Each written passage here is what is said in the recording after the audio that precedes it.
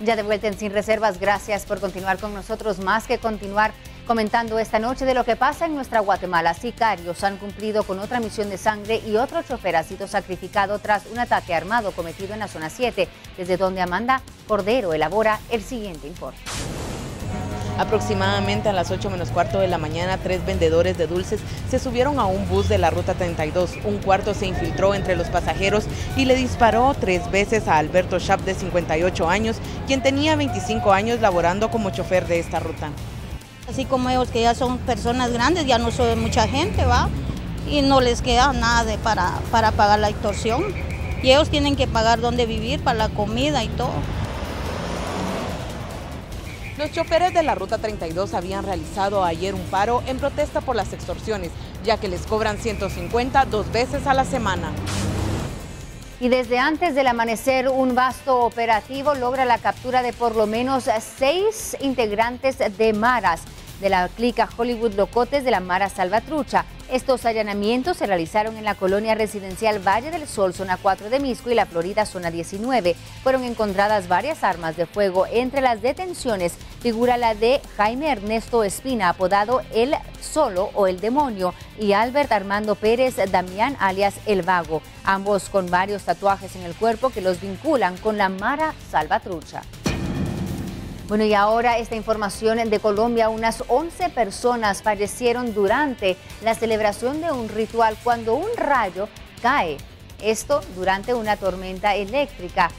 La celebración de este ritual ha dejado a estas personas fallecidas. Varios helicópteros trasladaron a hospitales a tres heridos. El rayo entró y dio vueltas en todo el lugar. A medida que pasaba la gente se iba cayendo sin que pudiéramos hacer nada, expresó Mamo Ramón Jamil autoridad suprema de la comunidad de 60 familias de la etnia Wilwa que viven en la reserva Quemá-Fumaque en el corazón de la Sierra Nevada. Los récords también se rompen desde Guatemala. Hace unos días se estableció un nuevo récord en los cielos escuintlecos. Vamos a ver de qué se trata a continuación.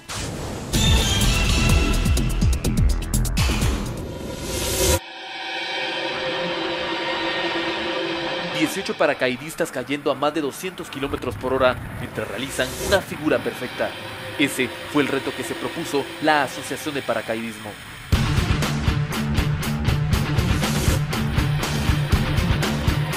Pues el domingo eh, hicimos un intento de récord nacional, que era una formación en caída libre y pues por supuesto se logró. Hicimos un récord, un nuevo récord nacional de 18 paracaidistas haciendo una formación.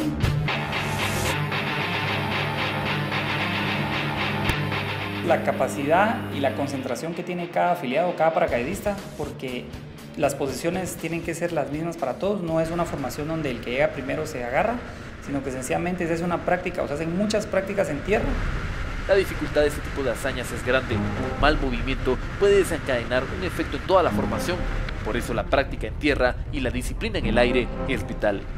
Una mala ejecución de su posición o de su entrada puede hacer de, de que toda la base o todo el resto de los paracaidistas que ya van formados se puedan eh, hundirse o puedan irse de lado o pueda provocar una, una, pues una eh, desformación de la, de la base.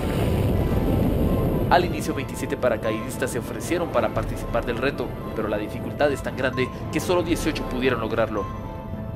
Se necesita mucha concentración y mucha experiencia en formaciones porque no pueden haber errores. Así que logramos ese récord de 18 y todos pues hicieron un buen trabajo, incluso los que no estuvieron, hicieron las prácticas, hicieron un buen trabajo, pero al final logramos 18 y eh, seguramente el otro año vamos por 20 o más.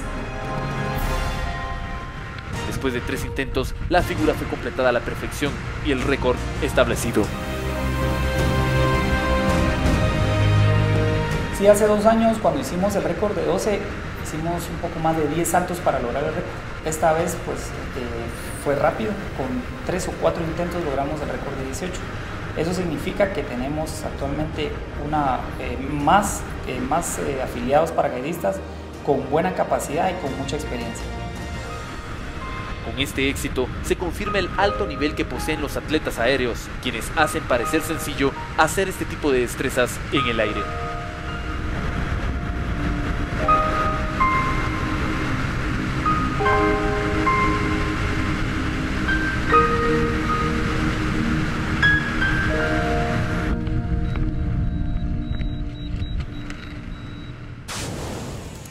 En caída libre, los paracaidistas alcanzan más de 250 kilómetros por hora, lo que les deja la oportunidad de hacer este tipo de figuras en tan solo pocos segundos.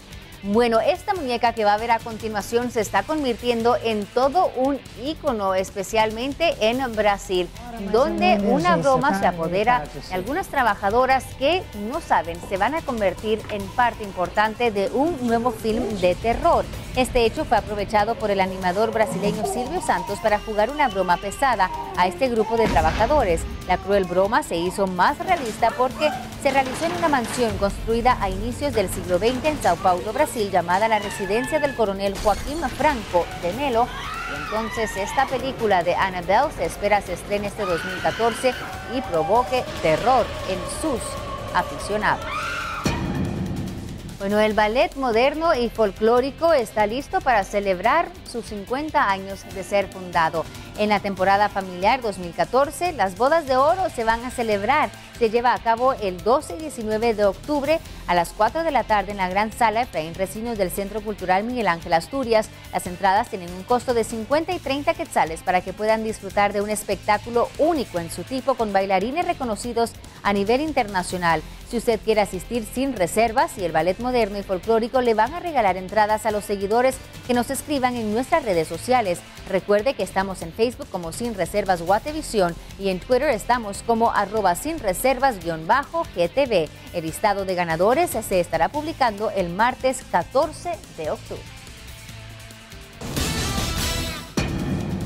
Y este video está provocando conmoción alrededor del mundo. Se trata de un bebé, un infante de un año que sobrevive al paso de un enorme camión de 7 toneladas. El niño es golpeado por la parte delantera de este camión cuando trataba de cruzar la calle.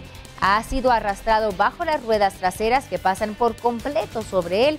Esto ocurría en Astana, la capital de Kazajstán, y están siendo investigados ahora los padres por la policía y también quien estaba conduciendo este camión, un repartidor de agua que es ahora sindicado como el principal responsable.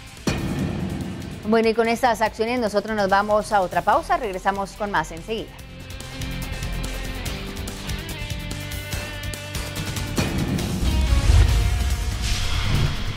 Y al cierre, un guatemalteco y centroamericano de altura, Jaime Vingal, regresa a la aventura con nuevos proyectos. Ahora, escalar los 10 volcanes más altos del mundo se convierten en su sueño.